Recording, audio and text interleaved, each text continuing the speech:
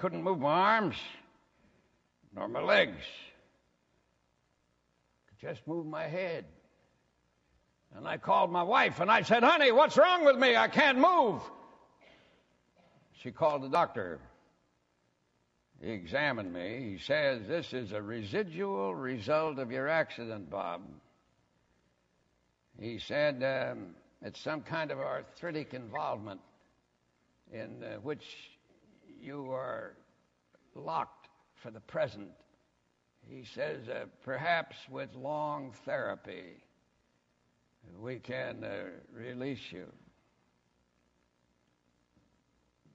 And then he went away. And the next day he came back. Bob said to him this time, Doc, I like you.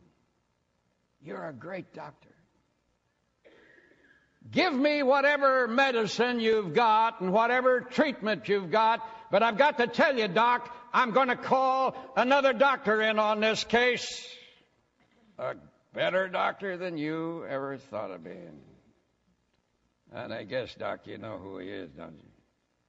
The doctor said, Yes, Bob. I know who he is.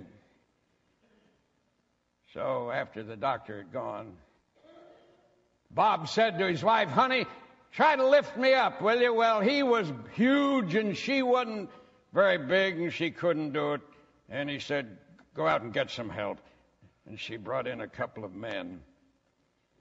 And they lifted him out of bed and stood him on his feet. And he says, Just steady me, boys, for a while, will you? And then he said, In the name of God, I will walk. Now, that may sound very uh, presumptuous, but there is a certain depth of faith which can perform miraculous things. What is a miracle? It's a wonderful happening. And Bob said, In the name of God, I command my muscles to respond. And had I not been riding in a car with him many months afterwards, I myself might have been filled with the same doubt which uh, comes to your mind uh, at this moment. But when we got back onto the platform of the railroad station at Poughkeepsie, I said, Bob, walk up and down in front of me so that I can see how you do. And with, with only a little limp in the left leg, he walked perfectly. I said, But don't you have any pain? Pain, he said. Of course I have pain. Indescribable pain. But he said, you see, that is part of the deal. God let me walk. And he gives me the power to rise above the pain. And I stood there looking at my old friend with tears in my eyes. And when presently the train, laden down with upstate snow, rushed into the station, and I boarded it and looked out the windows at him with a glorious smile, he was waving his hand at me. And my first thought was, what a man! God actually makes great human beings!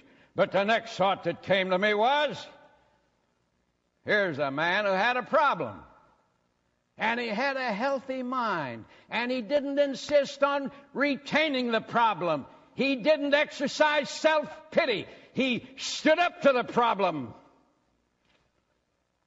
And he got on top of it. And he handled it. Now, I'm not preaching at you, I'm talking to myself. You can listen in if you want to. That's the way to handle a problem. Don't act weak in the presence of it. Humble yourselves under the mighty hand of God.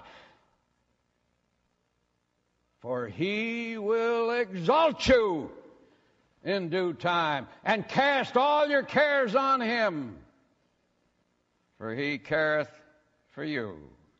Also in him, and he will bring it to pass. Get you on top of that problem.